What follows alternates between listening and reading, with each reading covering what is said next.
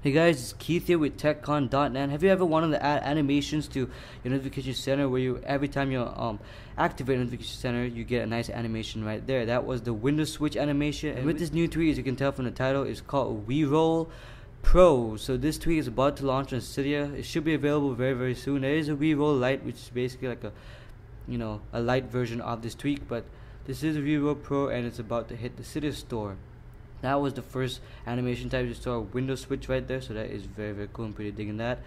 Also the second one is called pull down right there. So it's kind of like flotation which can be found in Cydia. It also does the same kind of thing but doesn't come with all these animations. Next one is spiral. Let's go check that out. Kind of like that actually. No, it's pretty messy but pretty cool. Next one is stomp. That is that is pretty cool actually right there. Yeah. Next one is squish. So yeah think it would squish the window right there, so it's very, very nice. In a cube. Oh, that is sweet. That is just plain awesome. Alright, that's just awesome. It's an art cube. I'm not really digging that one that much. It looks pretty buggy to me. Yeah. Next was minimize. Oh, that's cool as well. That's pretty awesome.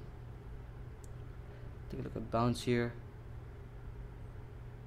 Ooh, nice. Just goes over the window and it'll bounce right there. Nice. Next is width stretch. So it stretches the width of the window right there. Pretty cool.